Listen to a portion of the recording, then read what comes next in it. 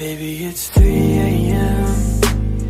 Had you on my mind, it's not the first time we've gone through this.